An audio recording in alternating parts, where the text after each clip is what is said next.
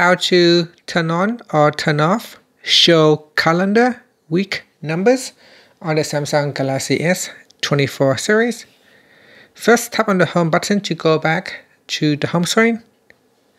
Then swipe up to go into the app screen. In here open up the calendar app. Then in calendar tap on the menu key. Next tap on settings. Now in calendar settings go down and then tap on show week numbers. Tap on the toggle button to switch it off or turn it on. Now you can tap on the left hand side panel. In here you can make the first week of the year. So the week with the first Thursday of the year or the week with the first day of the year. So select one of the options and then tap on the back key, then tap on the back key again to go back to your calendar. And that's it. Thank you for watching this video. Please like and subscribe to my channel for more videos. So you can see on the left hand side there is a week number in your calendar.